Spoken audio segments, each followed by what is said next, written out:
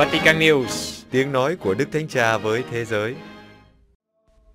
Vatican, sáng thứ Tư ngày 29 tháng 4, phụng vụ lễ nhớ Thánh Catarina thành Siena, trình nữ tiến sĩ hội thánh. Thánh nữ không chỉ được nhớ đến trong giáo hội vì đã can đảm thuyết phục Đức Giáo Hoàng rời bỏ Avignon để từ Pháp trở về Roma vào năm 1377, mà còn là một vị thánh có công hiệp nhất nước Ý và châu Âu. Nhân dịp này, một lần nữa, Đức Thánh Cha dâng thánh lễ mời gọi mọi người cầu nguyện cho châu Âu.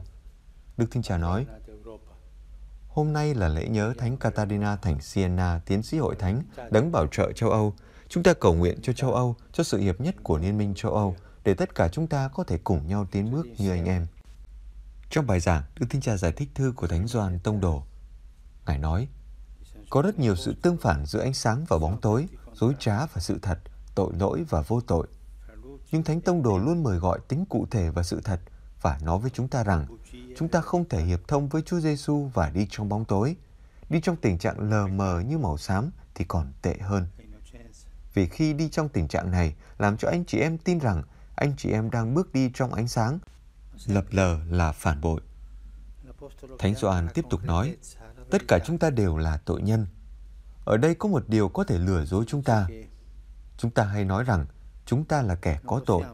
Nhưng có phải chúng ta thú thật điều này với một lương tâm đúng đắn hay chỉ nói theo thói quen và vì mọi người nói thì tôi cũng nói như vậy và câu nói ấy mang tính xã hội? Phải thú nhận một cách cụ thể. Sự thật luôn là một điều cụ thể. Và Đức Thánh Cha nhắc lại rằng anh chị em không thể xưng tội một cách trừu tượng, phải cụ thể. Cụ thể nghĩa là làm cho chúng ta cảm thấy mình có tội lỗi một cách thật sự nghiêm túc. Đức Thánh Cha nói về tính cụ thể của trẻ thơ rằng khi trẻ em đi xưng tội, các em nói những điều cụ thể và đơn sơ. Tôi nhớ có một lần, một em bé nói với tôi rằng em buồn bởi vì em đã cãi lại người gì. Tôi hỏi, nhưng con đã làm gì? Em đã nói, con ở nhà, con muốn đi chơi bóng đá, nhưng dì con muốn con làm bài tập trước đã.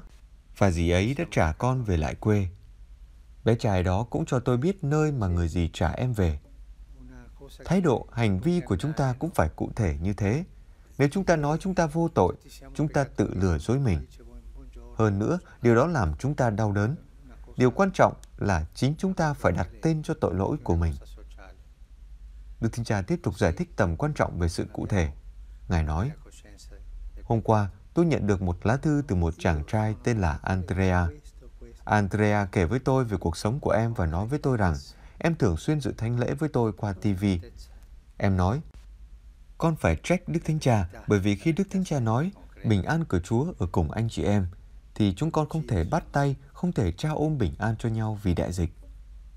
Và Đức Thánh Cha nhắc nhở thêm, phải có sự khôn ngoan trong cụ thể bởi vì ma quỷ muốn chúng ta sống trong tình trạng mập mờ và hâm hầm.